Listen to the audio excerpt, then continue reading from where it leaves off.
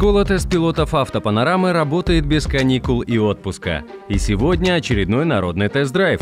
Hyundai i30 для пристального изучения и наши лучшие эксперты из народа – Тихон Науменко и Дмитрий Шиманович.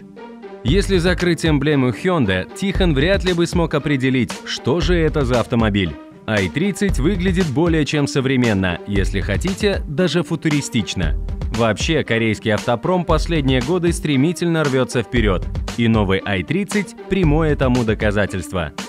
Дмитрий разделяет мнение Тихона. Дизайн у i30 действительно на высоте. Сравнивая этот автомобиль с тем, что выпускали конструкторы Hyundai ранее, сразу бросаются в глаза гармоничные пропорции и мускулистость этого хэтча.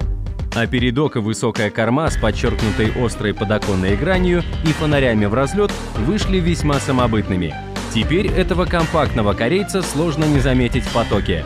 Отдадим должное дизайнеру Томасу Бюркле. Салон автомобиля также не разочаровал. Вместо ожидаемого жесткого пластика вполне себе мягкий на ощупь материал. Правда, черная глянцевая вставка на центральной консоли явно быстро покроется пятнами. Но ведь никто не требует специально оставлять на ней отпечатки своих пальцев. Все панели подогнаны хорошо, каких-либо щелей, скрипов и прочих неприятностей просто нет. Из положительного – входы для внешних устройств в нише центральной панели и панорамная сдвижная крыша. Обратите, пожалуйста, внимание на то, что э, спинка водительского сидения э, сейчас отклонена максимально назад. Я нахожусь сзади. Э, при моем росте метр восемьдесят шесть и при моей комплекции я чувствую себя здесь достаточно свободно и комфортно. Хочу добавить, что в машине находилось 4 взрослых человека, и никакого дискомфорта мы, опять же, не испытывали. Сам салон, несмотря на небольшие габариты машины, далеко не маленький. Дмитрий при росте 193 сантиметра свободно разместился сам за собой. Правда, хорошенько приложился при посадке головой о дверной проем. Спасибо динамичному дизайну. Да и места над головой не осталось. Боковые зеркала порадовали размерами, недостатка в обзорности нет. Правда, слегка портит впечатление широкие передние и задние стойки, но дискомфорта при парковке это не доставляет. Обзорность в зеркалах заднего вида более чем достаточно. Единственное, что вот лично мне не хватало немного обзора в панорамном, в панорамном внутреннем зеркале. Ну, в данном случае его немножко, мне кажется, принесли в жертву дизайну, о чем тоже не сожалеешь, внешне машина очень удалась. Багажник в i30 ни мал, ни велик. Он скорее стандартный для этого класса авто. Если трансформировать заднее сиденье, то объем багажника будет равен более чем 1300 литрам, да еще и с ровным полом. Единственное, что может вызвать некоторое неудобство, и то скорее у представительниц прекрасной половины человечества, это высота порога багажника.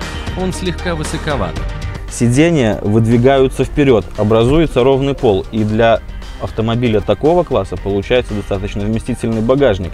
В городских условиях это очень большой плюс, потому что вам надо будет что-то перевозить и много перевозить, и этот автомобиль справится блестяще с этой задачей.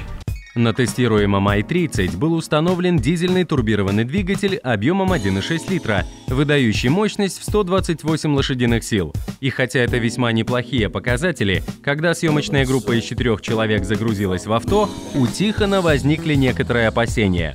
Как же поедет наш i30? Но и здесь никаких намеков на трудности.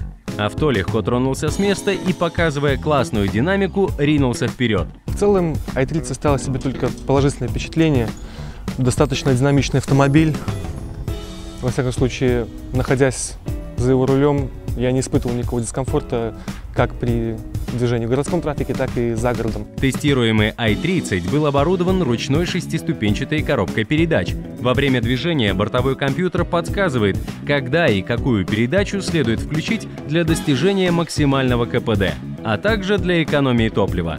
Тихон отметил, что на скорости 120 км в час стрелка тахометра едва достигала 2000 оборотов в минуту, а двигатель работал тихо и ровно. Хотя в салоне нигде ничего не скрипит, не шумит и не вибрирует, Дмитрий и Тихон не смогли назвать шумоизоляцию идеальной. Минусом это не назовешь, не бизнес-класс все-таки. Подвеска жестковата, но поскольку это городской автомобиль, в городе на асфальте вряд ли это будет сильно заметно.